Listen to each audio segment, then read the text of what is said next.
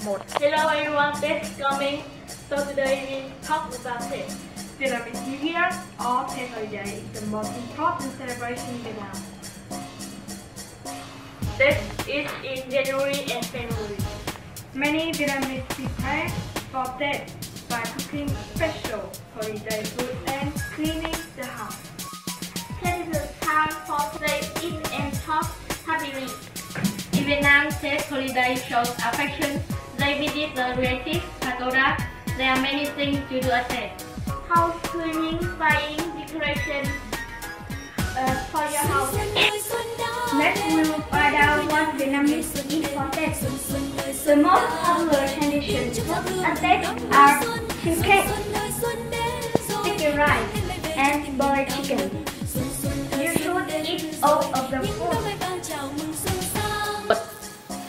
Is a traditional clothes Tết in Vietnam. Both women and men can wear it. It's very comfortable to wear.